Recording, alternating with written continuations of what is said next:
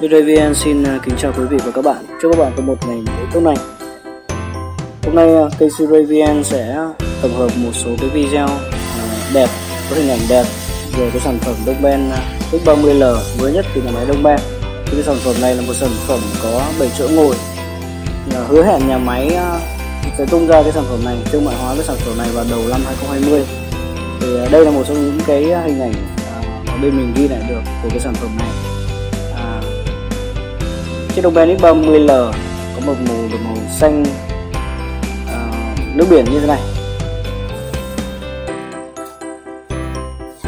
Về kích thước xe thì sản phẩm này sẽ có chiều dài và chiều rộng chiều cao cao hơn một số các cái sản phẩm đồng Ben X30 mà các bạn có thể nhìn thấy ở trên thị trường.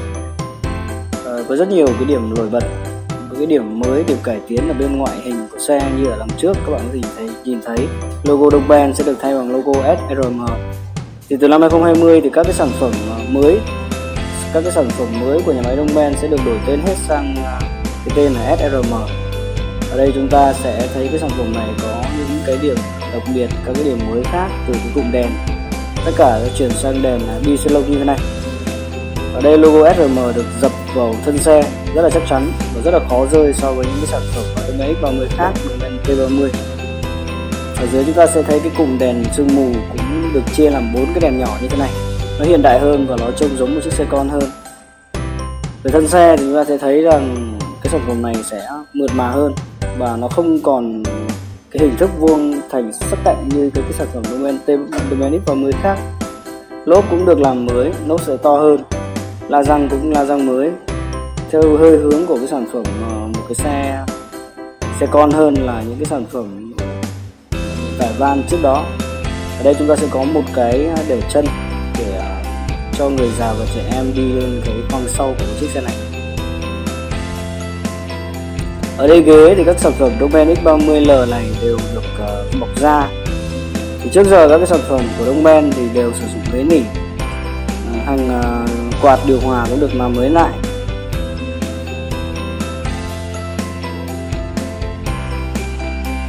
Mình sẽ bước vào kho nội thất cho các bạn xem một vài cái điểm mới của sản phẩm này. Thì cái sản phẩm này sẽ được tích hợp cái hệ thống giải trí đa phương tiện. Ở đây chúng ta sẽ có một cái màn hình. Đấy các bạn có thể nhìn thấy một cái màn hình à, giải trí đa phương tiện như thế này. Mình không biết rằng là khi cái sản phẩm này ra mắt chính thức thì các cái hệ thống giải trí này có được uh, trang bị trên một chiếc xe thương mại hay không. Nhưng nếu có thì nó sẽ rất là tốt với những cái sản phẩm bởi chỗ ngồi như thế này.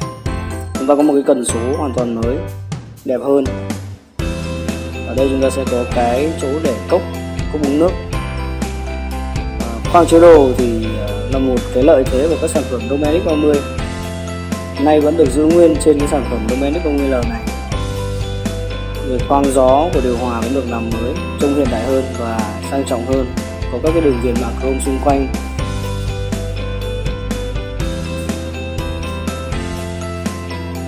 Cái màn hình à, giải trí đa phương tiện này khá là chắc chắn đấy các bạn về loa thì vẫn được đặt ở trên uh, trên lắp uh, cabin như các cái sản phẩm của máy và mới khác.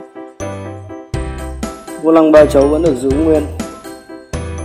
Chỉ bỏ logo đông ben và thêm logo SRM vào thôi. Hệ thống cụm đồng hồ vẫn được giữ nguyên nhưng sẽ điểm xuyết bằng một số các cái hình màu xanh như thế này trông nó đẹp hơn và hiện đại hơn.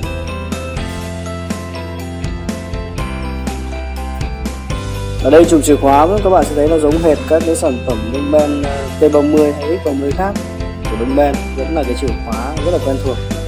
Phanh tay.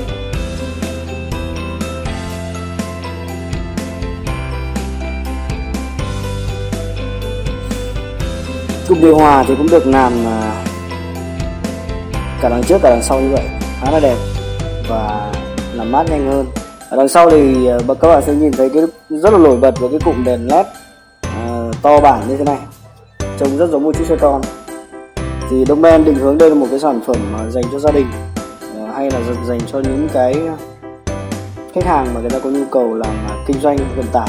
Thì đây là một trong những cái sản phẩm giá rẻ hướng đến họ. Chất lượng hoàn thiện tốt và giá cả dao uh, động khoảng 300 triệu Việt Nam đồng.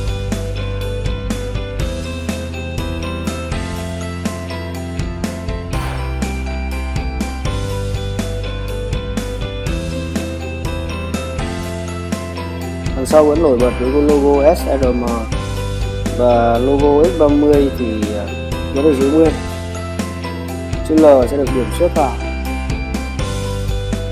đèn à, phanh đằng sau cũng là cũng được nằm lại bằng nét hoàn toàn.